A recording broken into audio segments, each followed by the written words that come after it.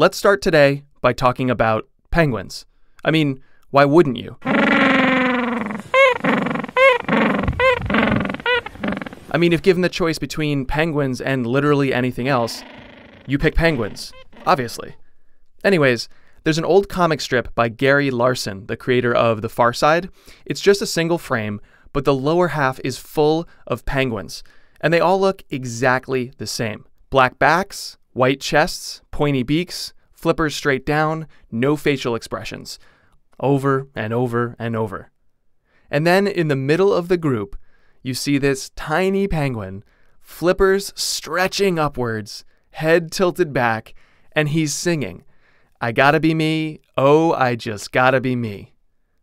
Today on the show, why and how you should be you, why you should zig when others zag. I'm Jay Acunzo. Stick around.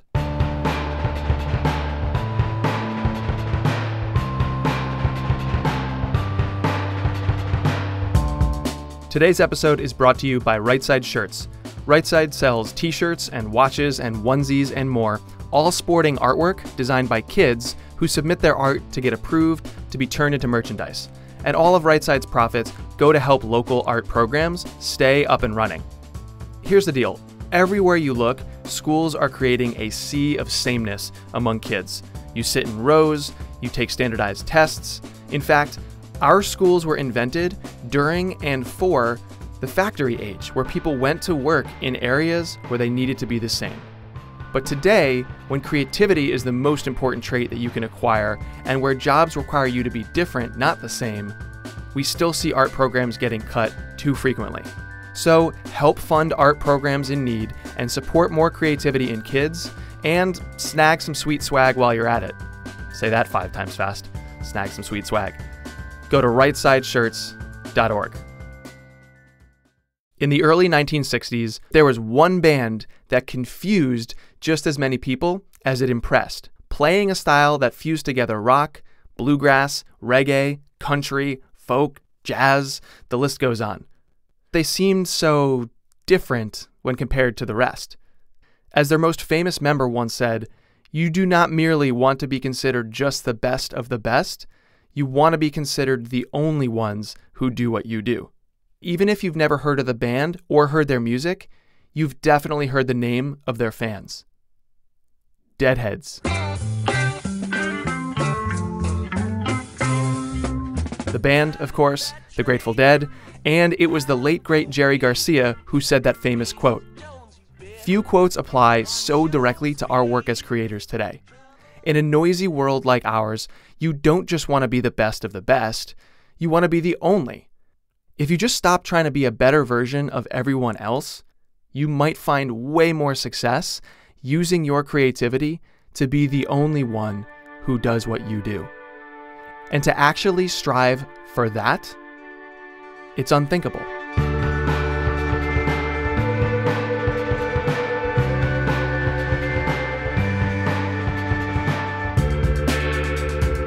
Welcome to Unthinkable stories of people who make the leap between what the data says to do and what their intuition is saying they should do instead. Once again, I'm Jay Acunzo. So, what happens if you choose not to compare yourself to others?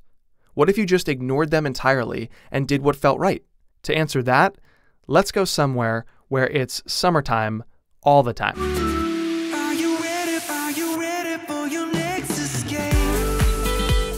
Hey, what's going on? My name is Austin Afridi. I produce music as Viceroy, and I'm a DJ, and I live in San Francisco, California. Austin doesn't quite fit the stereotype that you have in your head of a house DJ. He's usually wearing a Hawaiian shirt and pink or powder blue shorts of the slightly too short variety. And his venue of choice isn't some posh club in front of an aggressive dance floor. It's a pool party outside in front of a sunset. Austin is, as his tagline suggests, summertime all the time. And he stands out. Austin didn't start by trying to concoct some fictional brand based on what would sell. Instead, he constantly tried to figure out what got him excited and then pursued that. You know, it was bouncing off my friends and logos and branding. And I was like, I like the beach kind of summer stuff. It's kind of who I am. That's again, it's organic in that sense because it's not like this contrived marketing scheme to like you know, like, oh, let's like make this whole like facade of this summer dude who wants to like, you know, get everybody to think it's, you know, five o'clock somewhere all the time. You know, it's, uh, it's just kind of who I've always been and like just kind of a happy kid. So growing up. So, but it wasn't like, oh, I sat down, you know, and was like, this was all contrived. And like, you know, like this is what I'm going to do because this, this, this, and this. It was just more of a organic growth. He knows what he's all about. And in his words, he's about jams, not bangers. He's about summertime all the time. He's about just being himself, constantly. And he sees that as empowering for his brand and his career, not limiting. The way to like have a long-term career is like find your brand, find your niche, find your like specific thing that makes you stand out, and then spread that on a, like a mass scale. You know, expand it, um, which you can do. And what I've been focusing on with my new EP coming out um, is like finding out what else stands for summertime all the time. And there's a lot more than people really realize. Um, so that are other genres, you know, that maybe haven't been explored in electronic music as much. There's just things like that that can take my niche specific branding that when someone sees my logo when someone hears my music and knows my signature sounds when someone sees the imagery they know it's me but then there's also like the other things i can do with that that might still surprise my audience that they're like, you know what, that does really fit in the brand. Austin isn't trying to be something for everyone, but Austin is trying to be something. Something people can know and relate to. Something people can identify with and love. But most importantly, something that just feels like him. so much time it's hard to look around and find myself back at the start.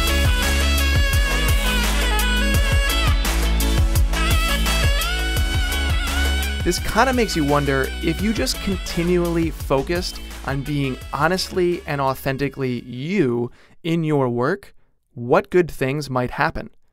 Well, since we started with penguins, I thought it made sense to answer these questions by talking next about yet another adorable creature puppies. Except the puppy we're talking about next is uh, not exactly what you're picturing. This is the story of Eddie the Terrible. He just was kind of a jerk. But he was a jerk someone could love. That's Finn Dowling. She works for the Humane Society in Silicon Valley, California. And she and her team had the, I guess I could say, pleasure of taking care of Eddie. He was a lot of show and no go when it came to aggression, meaning he had barked and he had snapped, but he had never actually in two years bitten anybody. In December of 2014, Eddie became internet famous thanks to a rather atypical blog post written by Finn to try and get him adopted. But before we talk about that truly crazy article, you first need to understand something about animal shelter blogs. They're awful. Because shelter blogs are written by shelter people with the idea that most people that would only read them are shelter people. And not only that, but animal sheltering has traditionally been so strapped in such a reactive field that there's never been a moment to take a breath and be like, hey, is this actually working? And, you know, is this actually achieving the goal that it wants it, you know, that we want it to achieve? And so in scenarios like that, it becomes easier to look at what others are doing and simply copy them. You, uh, you might say that uh, that all those dogs turn those shelter volunteers into a bunch of copy cats. Anyone? No. Okay. Uh, so Eddie. So he came to us. I think he came in as a stray, and he was pretty nutters right from the get go. Um, you know, he was barky. He was threatening to take people's fingers off um, that sort of thing, and it, which which a lot of shelters are like, why would you even try to save this dog? And and the reason is there's a lot of really terrible small dogs in the world, and this dog was under an enormous amount of stress, and you know this is not something that we don't see a lot, which is small dogs being absolutely terrified and acting like serial murderers. After two years, no one had adopted him. And so the entire staff decided it was high time to meet and figure out what the heck to do about Eddie. And that's when everything changed. I forget where it came from that we just decided we would market him as the absolute worst dog in the world.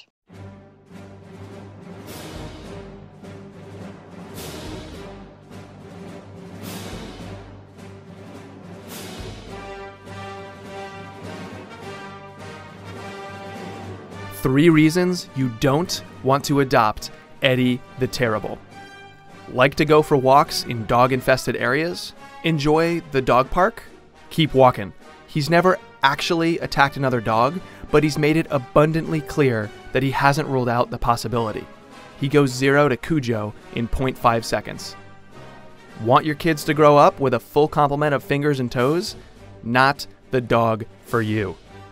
Some dogs love kids. We have a bunch of child loving dogs here. Eddie the Terrible, however, is not one of them. Looking for a simple dog that will sleep in his crate? Not your guy. A bed in your room? Awesome. In bed with you? Better. In a crate? Let him sing you the song of his people. In retrospect, it's all in slow motion. So Finn wrote that piece, full of tongue in cheek reasons not to adopt Eddie, and mixed in with her writing were several hilarious graphics. One says, The Walking Ed. Another says, Nightmare on Ames Avenue, which is where the shelter is located. And my favorite shows a bright green background with wisps of smoke and the title, Adopting Bad. And then it was like someone shook up a big bottle of crazy and just let it loose. We were at our marketing team, like Christmas dinner, which was super late because we had all been really busy. And we got a call on our cell phone that Good Morning America is sending a producer over in like 15 minutes. And it was just it, it was just the way that it went. Like everything just went crazy very quickly. From ABC News to USA Today, the Daily Mail to CBS, everyone wanted to cover the story of Eddie the Terrible. And Finn credits all of this to the team's decision to be different than what every other shelter seems to do. That, like that's not where you start, particularly with marketing or anything creative. Is you don't try to replicate it. You try to smash it on the ground, pick it apart, maybe see if there's something that works in it, and then rebuild something completely different. Eddie spent two years getting overlooked by potential adopters. But once the article went up, this terrible little dog found a family in just two days. He was adopted by a wonderful couple who doesn't have any dogs and are don't have any kids. The husband is retired. Um, and the wife works sometimes, and they just think he is the best thing ever. They think everything he does is adorable and wonderful. And when he, um, when when the husband takes him out for a walk, he barks at other dogs, and that's fine, you know, and, and he has a perfectly wonderful, normal life. And he's a jerk in public, but not a dangerous jerk. And I think his dad was actually going to get him registered as a therapy dog um, because he has some disabilities, and having Eddie around has been so wonderful for him that he wants to take him more places. But it was funny because I did come in the other day and they're like, oh, Eddie's here if you want to see him. And I'm like, how is he doing? They're like, he's Eddie.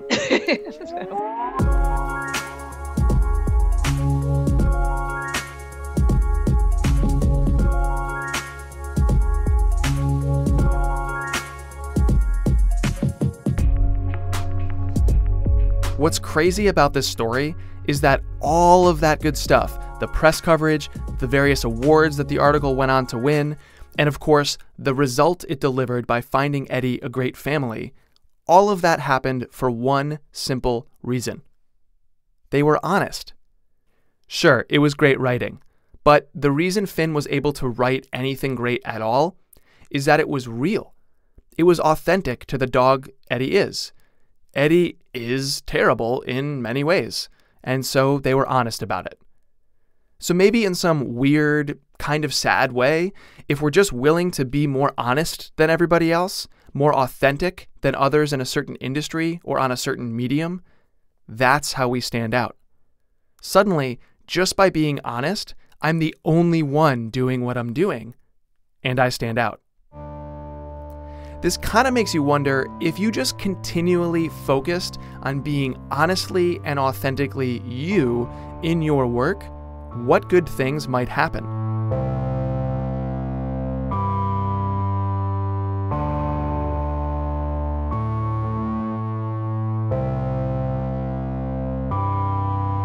A funny thing happens when you try to be something that resembles success. You usually don't find it. You wind up standing in a row like all the other penguins, same old, same old, no different than the rest, lost in the crowd. But what if the goal wasn't to be successful? What if the goal was to be memorable? Maybe then you'd stand out from the other penguins. Maybe then, like Finn Dowling, you'd just be honest with the world. Maybe then, like Austin Afridi, you'd just be honest with yourself over and over and over, pursuing that feeling at every turn, pouring yourself into every project. Because that is how to do memorable work. So if you want to zig when others zag, if you want your work to stand out when others blend in, stop looking for blueprints. Stop trying to engineer success. Stop withholding your personality and your beliefs and your opinion from your work. And starting today, right now, as you hear these words, throw back your head, stretch out your flippers, and just be you.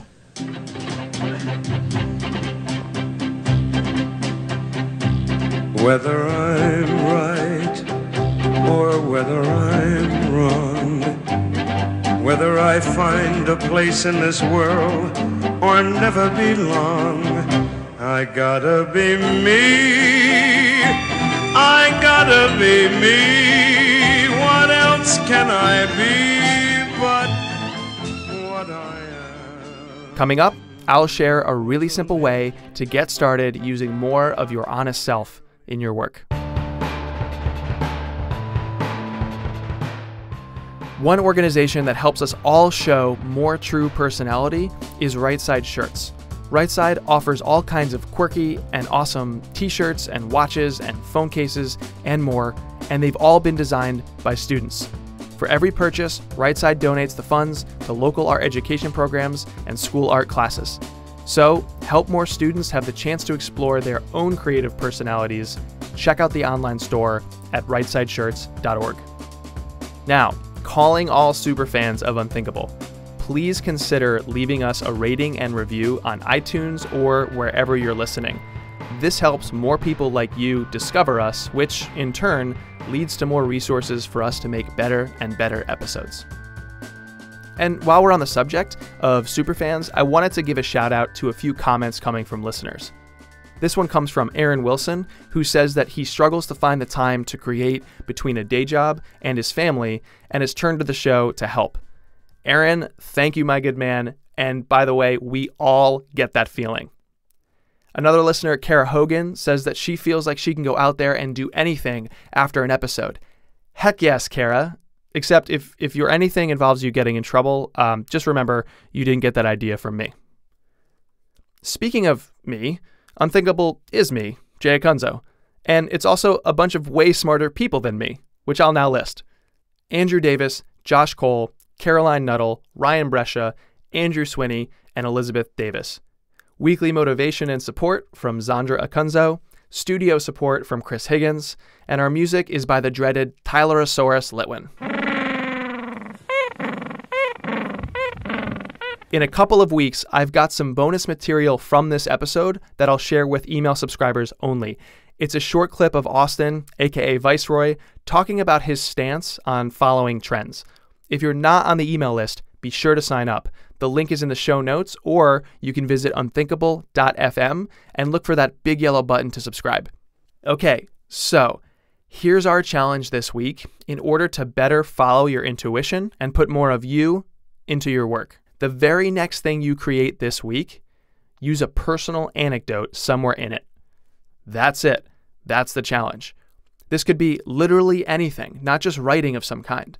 Maybe you're putting together a deck to pitch an idea, or you have a meeting to network with somebody, or you're bottling your next homebrewed cider. Whatever you're creating in the next seven days, find a place for a personal anecdote that supports what you're trying to say to the world and involve it for others to see, hear, or find. Once you do that, I promise you it'll start to snowball. You'll start to weave more personal experiences into your work, then personal opinions and beliefs, and before long, all this other more subtle stuff that makes your work wholly you and makes it memorable. So let me know what happens when you do that. Email me at jay at unthinkable.fm. That's j at unthinkable.fm. I'd love to share some of your replies from this episode along with that bonus content to a future email newsletter on a Monday morning. And just think to create awesome work that stands way, way, way out, it could all start this week simply by including one little story in one little area of a project that you create. Now that is unthinkable.